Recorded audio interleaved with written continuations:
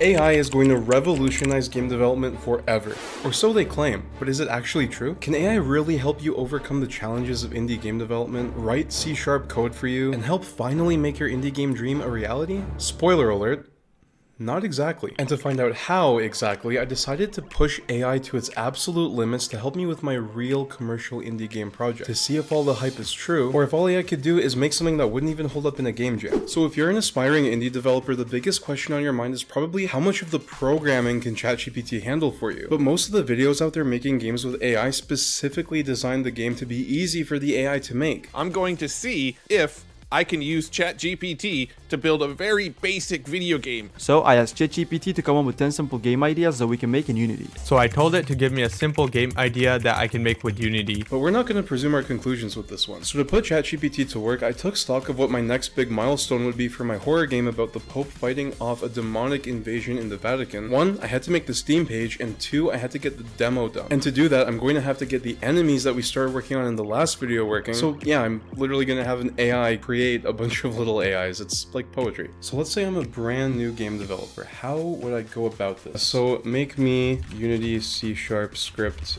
for an enemy. Okay, so we have our first problem. Find game object with tag player. This is gonna work right outside of the box. It shouldn't be assigning player like this. We should assign player in the inspector. Okay, he's really following me.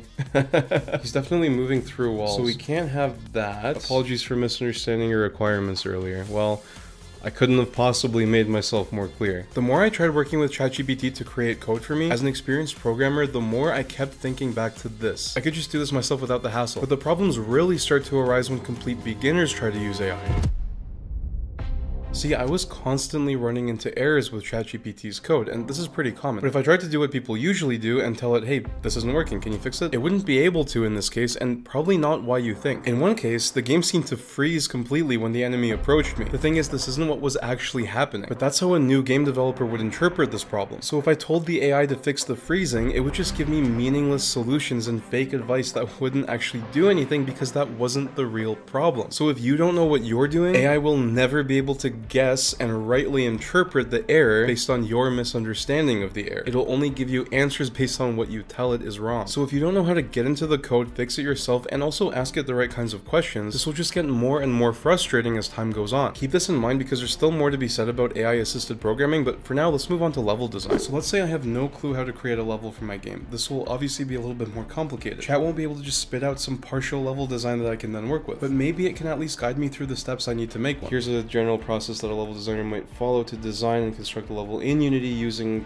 Pro Builder. This is really the crux of it, isn't it? Um, like you're not gonna actually tell me how to use it, but I guess like at a high level, there's nothing wrong with this process. But I feel like if someone wants to learn how to do level design, they already know that they're gonna need to make the level, edit the level, add textures. So the information it's giving me is true, but it's extremely vague. If I want to make a level for a game, I know it'll have to be designed, planned, textured, and lit, but I might not know how to do that. You would get much more practical information by watching specialized YouTube videos or analyses of AAA games or even indie games or even GDC talks. Even when it comes to the technical side of using Pro Builder, ChatGPT was limited by outdated information. But this will obviously be less of an issue as time goes on, and AI will even be able to generate 3D models eventually. And that's not all. One of the devs of Ultima Online is in the process of creating AI-based level generator. So yeah, we're getting there. Jumping back to enemies, one thing that positively surprised me about ChatGPT was that after enough back and forth, it actually gave me good advice about how to implement attacking. And that was through an animation event. See, animation events would allow the enemy to deal damage at the precise moment that the weapon, or in this case the claws, hit the player, instead of messing with timers or collision boxes or trying to get the enemy to damage the player immediately, which was what ChatGPT's code was originally doing. So I have to give the AI props in this case, because asking it questions like this can be a lot easier for people than trying to Google the answer, especially if you don't even know what you're looking for. So this sort of teaching process could definitely be beneficial, assuming it doesn't try to actively deceive you, which made me wonder if AI could help me out with animation. I prompted ChatGPT, and honestly, this is just like the level design question. It's giving me the basic overall idea of what steps go into animating a character, but I need more. You could use Mixamo and download animation packs, but these feel very samey. I want my animations to be stylized, punchy, and unique, and I don't think an AI could ever develop my personal style for me. But at the same time, 3D animation is super daunting. But even though AI can't help you with this, I did come across something that could change your perspective on animation, and that's ToAnimate. To be fully honest, guys, ToAnimate made reached out to me to be an affiliate, and I said we're only doing this if you let me try out the course myself. And they were actually very happy to agree. So I can honestly say that it is truly a fantastic course. It's super detailed and I've learned a lot already. And if you decide to take this course, it'll really demystify animation for you, as well as Blender itself as a whole. So I highly recommend you pick up the course, especially if you want your game to stand out amidst all of the AI generated games of the future. And you can support the channel as well by using the affiliate link in the description. And if animation isn't your thing, but you still want to support the channel, my Patreon is great for that. If you support there, you'll get access to exclusive articles, exercises, and even exclusive videos, all about taking your game dev journey to the next level. And you can check that out in the description as well. Now, there was one more thing that I wanted to get the AI to help me with, and as a natural language model, this should be something that's pretty easy for it, and that was writing marketing material. But even that didn't go quite as expected. So for example, write me a short description for my Steam page about, uh, for my game, about a pope purging the Vatican of invading demons. Maybe I gave it a little bit too much uh, descriptive words there. Step into the shoes of a brave pope tasked with purging the Vatican of demonic invaders. Uh, this is really not something you want to say in your uh, in your short description on Steam. You have a limited amount of words. There's no point in telling people what the visuals look like. They can see that. Now, with my next point, I need to stress. Why haven't they subscribed yet? What more must I do? With that out of the way, Chris Zukowski, the indie game marketing expert, had a great article on the potential role of AI in marketing, and he's actually quite critical. He found that one of the things that AI is really bad at is one of the things that indie developers already overlook entirely, and that's marketing analysis and marketing strategy. However, he noticed it is very good at writing, specifically pitch emails, and yeah, I can see how as this tech gets more and more refined and more specialized, it could take a lot of the work off your hands, but again, there's a lot to learn about marketing that ChatGPT just can't do for you, like writing a good short description for your Steam page. Clearly, there are some good uses for ChatGPT, and it'll only keep evolving and improving. So I don't blame you if you think that this whole thing is clickbait, but it's not. I think I have some really good reasons to be cautious of ChatGPT, and why you should be too.